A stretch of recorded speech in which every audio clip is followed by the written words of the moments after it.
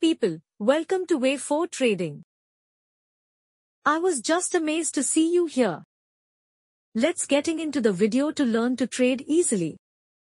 Try ones which use more far better than buying indicator.